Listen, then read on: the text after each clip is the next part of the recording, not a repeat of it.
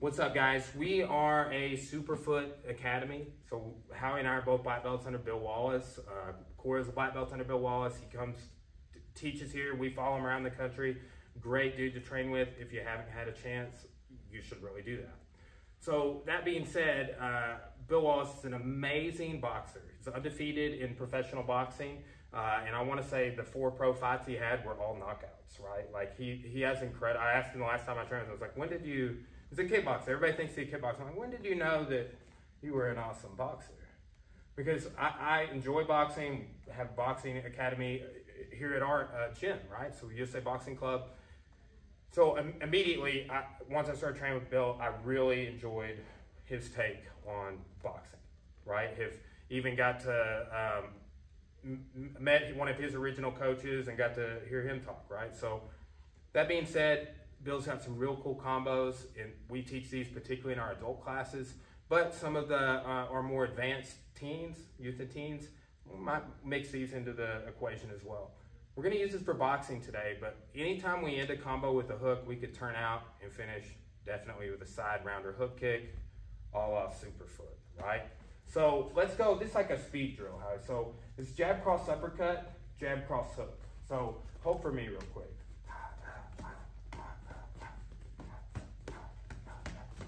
So just kind of kind of quick hands. Anytime I'm throwing a, a, combo like that that's six beats, and I'm just gonna do it in the pocket, yeah, think like I'm working this for kind of a speed drill.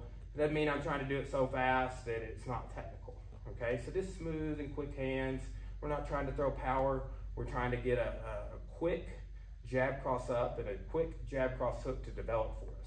And the way to develop those two combos independently of one another is to put them together, right? Like I work those two, three counts all the time, right? I work them with kicks, everything. This puts them together, right? And we'll see the ways that we can, you know, change them up a little bit or go an alternate route here in a second, all right? So give me jab cross up, jab cross up, right? So in that up, jab, up, jab. Jab cross up, jab cross up. Nice, good. Up a little bit.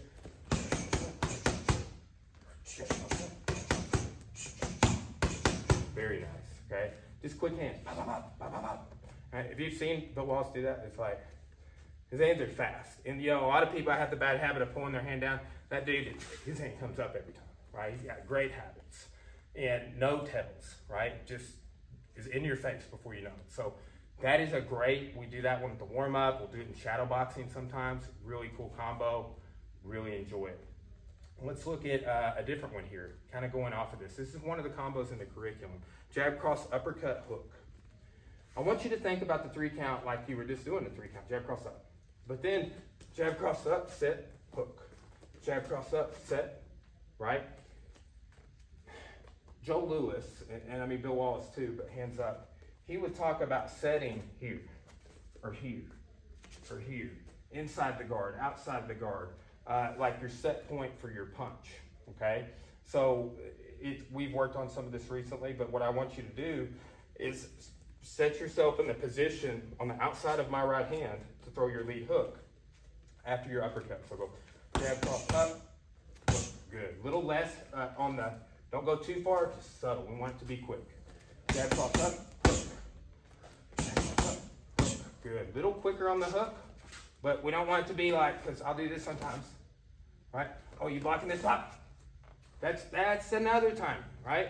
Another Joe Lewis combo, speaking of, jab up hook, mm -hmm. right? So this is a little, little different, right? It's, I want it to be jab cross up, hook, jab cross up, hook.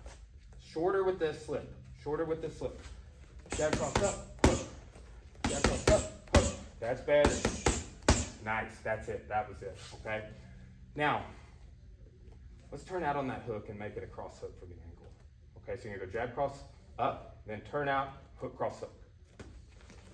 Jab cross up, good. Jab cross up. So jab cross up, slip, hook cross hook. Jab cross up, slip, hook cross hook. Again. Jab cross up. Nice.